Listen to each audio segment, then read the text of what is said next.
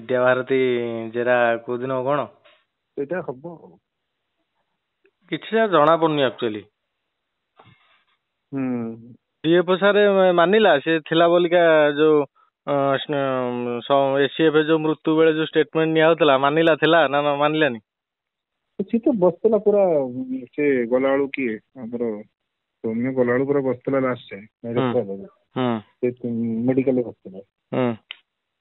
Treatment ହେଲେ ଗଲା ବେଳ ଠାରୁ ସେ ବସିଛି ରେଫର ହେଲା ଯାଏ ସେୟା ମାନ କେବଳ ସେଇ କଥା କେବଳ କହିଲା ନାଇଁ ଆଗରେ ହେଇଛି ବୋଲି ସେ ମାନିଲାନି। ମେଡିକାଲରେ ଥିଲା ଯୋଉ ଲାଷ୍ଟ ଷ୍ଟେଟମେଣ୍ଟ ଟା ନିଆ ହୁଏ ମୃତ୍ୟୁ କାରଣ ଜମାନବନ୍ଦୀ ସେତେବେଳେ ସେ ଥିଲା? ସେ ପୁରା ଥିଲା। ଜମାନବନ୍ଦୀ ତା ଆଗରେ ନିଆଯାଏ କି ନେବା କଥା ବାହାରେ। ସେ ପୁରା ଥିଲା ଆଡମିସନ ବେଳୁ ଗଲା ଯାଏ। କଟକ।